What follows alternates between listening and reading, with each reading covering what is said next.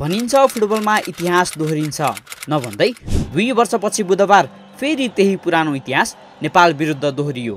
सन् दुई हजार बाइसमा पनि हजारौँ नेपाली दर्शकलाई निराश बनाउँदै दशरथ रङ्गशालामा पहिलो पटक सापको उपाधि चुमेको बङ्गलादेशले बुधबार फेरि त्यही इतिहास दोहोऱ्याएको हो। काठमाडौँको त्रिपुरेश्वर स्थित दशरथ रङ्गशालामा भएको साफ महिला च्याम्पियनसिपको फाइनलमा बङ्गलादेशले घरेलु टोली नेपाललाई दुई एकले स्तब्ध पार्दै लगातार दोहोरो पटक साफको उपाधि चुम्यो। चौध वर्षदेखि उपाधि जित्ने नेपालको सपना फेरि दुई वर्षका लागि सपनामै सीमित भएको छ।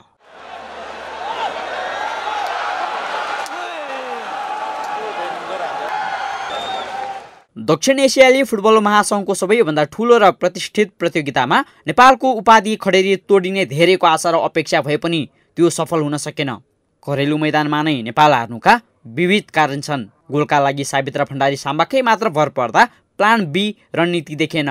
बल होल्ड गरेर खेल्न नसकेका खेलाडीहरू बल भेट्न साथ साम्बासम्म पुर्याउनमा नै आतुर थिए जसमा साम्बालाई विपक्षीका तिन चारजनाले मार गर्दा नेपालको साम्बा रणनीति सफल हुन सकेन। त्यस्तै नेपाली टिममा सशक्त मिडफिल्डरको पनि कमी देखियो। भएका खेलाडीहरू पनि पूर्ण रूपमा फिट नहुँदा त्यसबाट निस्किएको पीडादायी नतिजाको साक्षी दर्शक बन्न पुगे। गलत रणनीति अनावश्यक दबाव गोल आएपछि गुमेको आत्मविश्वास नै हारको कारक बन्यो। यसका बावजुद व्यवस्थापकीय पक्ष त मुख्य कारक सधैँ छ। नेपाली फुटबलको अभिभावक संस्था अखिल नेपाल फुटबल सङ्घ इन्फा पनि हारको जिम्मेवार हो। प्रतियोगिता हुनुअघि नेपालले एक खेल पनि अरू देशसँग अभ्यास गर्न पाएन। त्यस्तै नेपालले सीमित खेलाडीमा प्रतियोगिता खेल्नु पर्यो। फुटबलको बलियो आधार महिला लिगको अस्तव्यस्तता र घरेलु टुर्नामेन्टहरू लथालिङ्ग र भत्ताभुङ्ग हुँदाको असर नै साफ फाइनलमा देखियो। तर पनि हामीसँग अर्को अल्टरनेटिभ प्लेयर नभएपछि त गाह्रो हुन्छ नि त। सो लिग कन्टिन्यू वर्षभरि भइराख्ने वर्षौँ भइराख्ने त्यस पछाडि हामीले फोर्टिनको सिक्सटिनको लिगहरू युथ डेभलपमेन्टको लागि काम गऱ्यो भने त डेफिनेटली खेलाडी आइहाल्छ सो नभएपछि त्यो त्यो प्लेयरलाई हामीले युज गर्दा गर्दा कतिको त अब हाम्रो दसजना खेलाडी त तपाईँको इन्जुरी भएर फेरि रिकभर गरेर लिएर आएको छ अपरेसन गरेर लिएर आएको छ सर्जरी गरेर। भनेपछि त्यो प्लेयरलाई हामीले काम गराउँदा त गाह्रै हुन्छ नि त। प्रशिक्षक र खेलाडीको आफ्नै मेहनत र बलबुतामा मात्र फाइनलसम्मको यात्रा तय गरेको नेपाली टिम वास्तवमा कसैको प्राथमिकतामा नै परेको छैन। वर्षमा एक दुईवटा अन्तर्राष्ट्रिय खेल खेलाउने र प्रतियोगिता अघि महिना दिन बन्द प्रशिक्षणमा राखेकै भरमा उपाधिको आश गर्नु परेको छ। बिहिबार मात्र पनि प्रधानमन्त्री केपी शर्मा ओलीले उपविजेता टोलीसँग भेटघाट गर्दै तिहार लगत्तै जनही तिन तिन लाख दिने घोषणा गरे।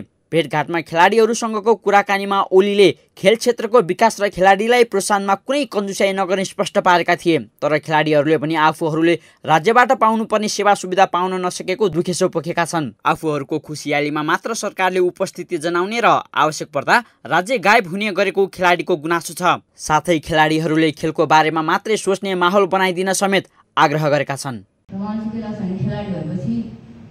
गेममा मात्र ध्यान होस् र दाना बाहिरको टेन्सन नहोस्।